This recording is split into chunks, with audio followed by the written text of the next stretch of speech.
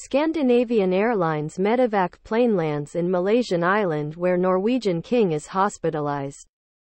Associated Press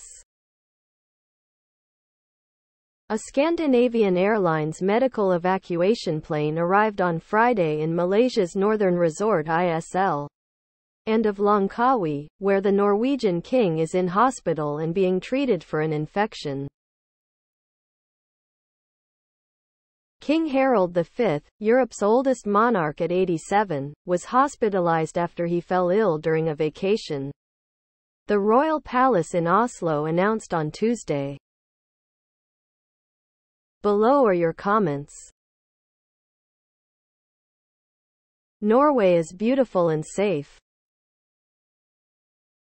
Only Ireland sent more immigrants to the USA in the 1800s than Norway.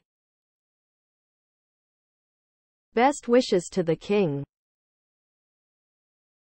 Poisoned by his son? Dot. There's been a lot of that happening in Europe and the British Isles as of late. Please subscribe to my channel. And if you like it, please thumbs up.